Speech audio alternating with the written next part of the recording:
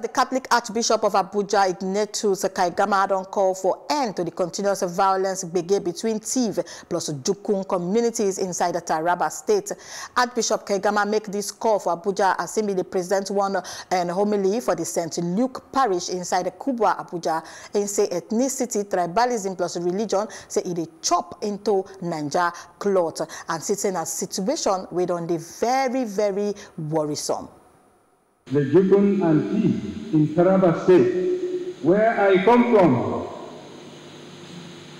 have been needlessly, I say needlessly, at each other for decades. They give deadly blows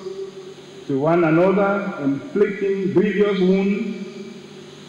exterminating innocent lives, and creating harsh economic hardship for the already poor population. I ask the question, why